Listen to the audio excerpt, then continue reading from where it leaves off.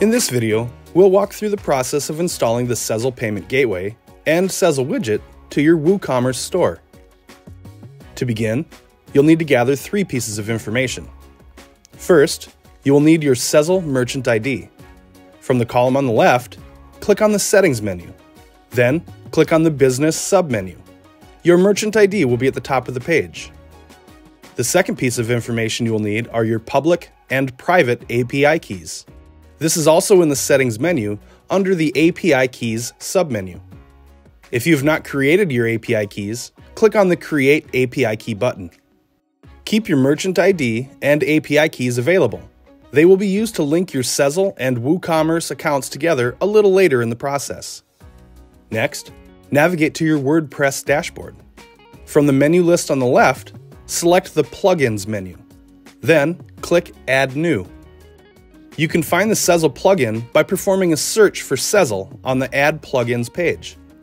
Once you've located the Sezzle WooCommerce payment plugin, click Install Now.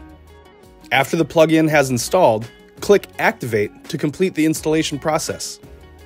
After the installation has completed, you'll need to connect your WooCommerce and Sezzle accounts using your merchant ID and your API keys. To do this, click on the WooCommerce tab in the WordPress menu on the left side of the screen. Then, click Settings. A new page will open. Select the Payments tab on the menu bar. Then scroll down to the Sezzle option and click Manage. On this page, you'll then enter your merchant ID, private API key, and your public API key. This is the information you gathered earlier from your Sezzle merchant dashboard. In this example, the transaction mode is set to Sandbox. Please note that this is not required for most installations. This is done solely for the purpose of this tutorial and allows test keys to be entered.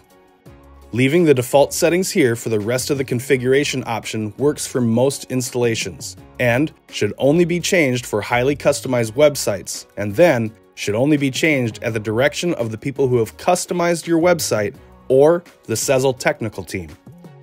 Once you have entered your merchant ID, public and private API keys, click Save. Congratulations on successfully installing Sezzle on your WooCommerce website. Please note that the Sezzle widgets may not show initially. This is due to our configuration not being set up for your specific theme. If this is the case, please reach out to the Sezzle merchant team.